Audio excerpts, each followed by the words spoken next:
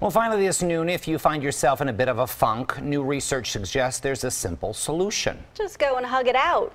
Researchers at Carnegie Mellon University say hugs can help boost people's moods regardless of gender or age.